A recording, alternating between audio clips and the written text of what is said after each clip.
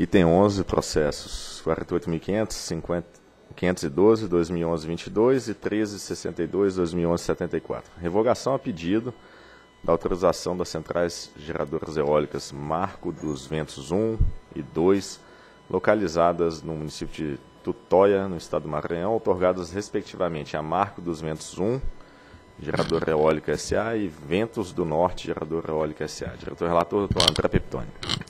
Antes de fazer só um comunicado que diz respeito ao período de contribuição da audiência pública 16 de 2013. É a audiência pública que trata da gestão orçamentária e da estrutura de governança do ONS. Em 15 de janeiro, recebi pleito do, do ONS para dilatar o prazo da segunda fase da audiência pública 16 de 2013. O INS argumentou que o, o prazo que se encerraria no dia 17 é, seria incompatível com a complexidade e relevância das alterações que estava se fazendo, o prazo de 60 dias, e defendeu que era imperioso conhecer o manual de acompanhamento e fiscalização para depois, então, se concluir a, a audiência pública. A gente registra que a, a, audiência pública não visa discutir manual de acompanhamento e fiscalização, não tem relação uma coisa que é outra, é uma coisa com a outra, que esse manual terá um momento oportuno para debate. Mas considerando que a audiência pública transcorreu é, no período de carnaval, em que a gente tem as, as atividades um pouco comprometidas, no uso do, do parágrafo 2 do artigo 18 da resolução 273, então eu determinei que a SMA publicasse no site da ANEL a extensão por mais 15 dias da, da audiência pública e o prazo finda agora dia 3 de março. Só registrei esse comunicado que conste da ata aqui da, da reunião. Assim passa a leitura do, do voto.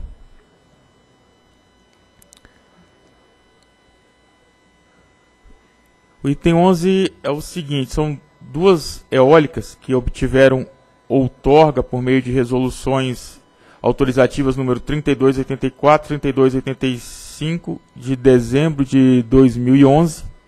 São as usinas Marcos dos Ventos 1 e Marcos dos Ventos 2, ambas com 28.800 kW de potência instalada, localizadas no Maranhão, no município de Tutóia. A, a energia dessas usinas, então, foi comercializada no leilão 7 de 2011. E pelas resoluções autorizativas 3541 e 3542 foram então recebida conferida outorgas esses empreendimentos. Em 4 de maio de 15, as autorizadas protocolaram correspondências solicitando a revogação da outorga. Aí consultamos a Procuradoria pelo parecer 566 a Procuradoria concluiu que os atos de homologação e adjudicação do agente deveriam ser revogados e que a garantia de fiel cumprimento poderia ser executada, desde que apontados e quantificados os prejuízos decorrentes da participação no leilão do empreendimento. E mediante a nota técnica 749, de 9 de outubro de 15, a SCG analisou o assunto e recomendou emitir resolução autorizativa para extinguir a outorga da, das duas usinas. Em 27 de outubro de 2015, a CCE, por meio de carta, cientificou a ANEL que a Marco dos Ventos 1 e a Ventos do Norte geradora não informaram os dados bancários necessários à confecção do CCAR.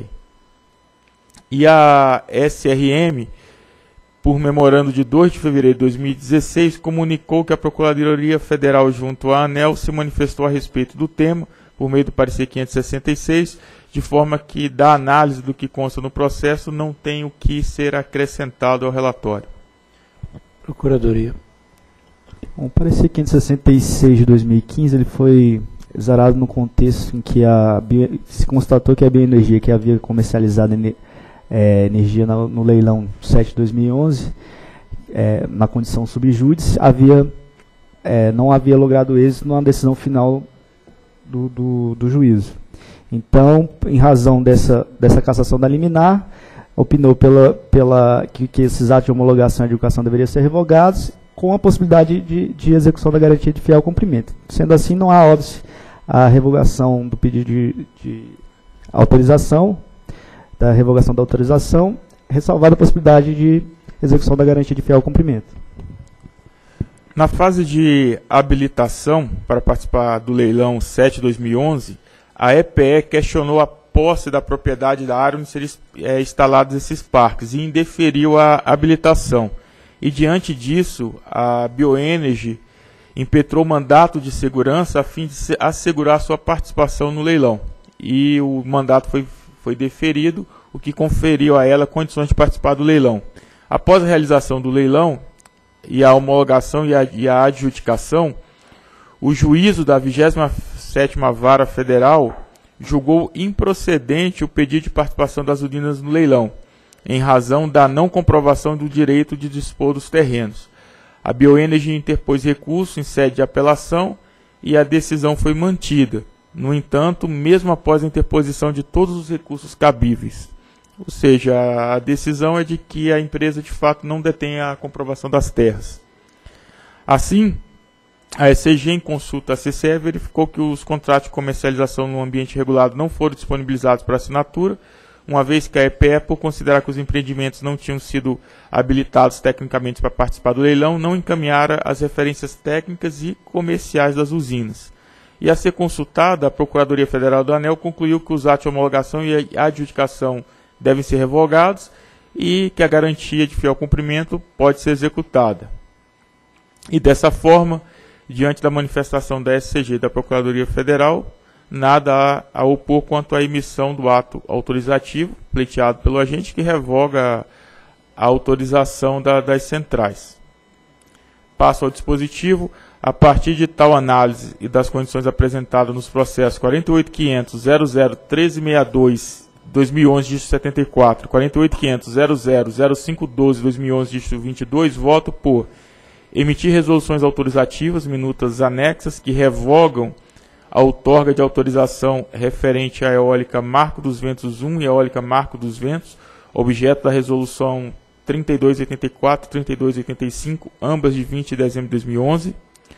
Revogar a homologação e a adjudicação do leilão 7 de 2011, referente às centrais geradoras eólicas Marco dos Ventos 1 e Marco dos Ventos 2 e determinar a SCG instauração de processo administrativo para apurar os fatos relacionados à execução da garantia de fiel cumprimento aportada pela empresa Marco dos Ventos 1 e Ventos do Norte, em razão de eventuais prejuízos causados pela não assinatura dos, CCARs correspondente ao leilão 7 de 2011 e demais ações cabíveis. É o voto. Em discussão. Eu acho que aqui eu ia fazer uma sugestão, talvez as demais ações cabíveis comportam o que eu sugeri, que é a análise da, da questão da garantia e eventuais aplicação de outras penalidades, que pode também advir em função do comportamento do agente. Mas quando você fala as demais ações cabíveis, é, eu acho que compreende o que eu iria sugerir, porque além da execução da garantia que deve ser objeto de processo específico, eventualmente a aplicação de outras penalidades é, que pode eventualmente caber. Ok. Em votação. Eu voto com o relator. Também voto com o relator.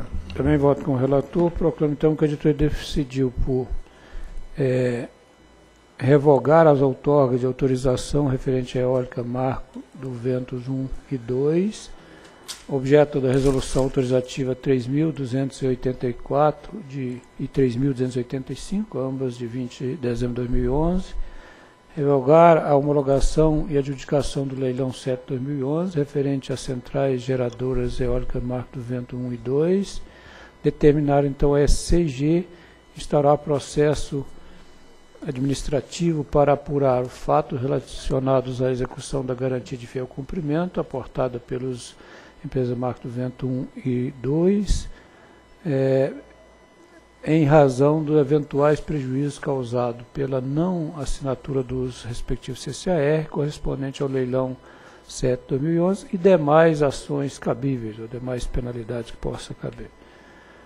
Ok. Então, é, esse sendo o último item da pauta, declaro então encerrada essa quarta reunião pública coordenada da diretoria. Um bom almoço a todos.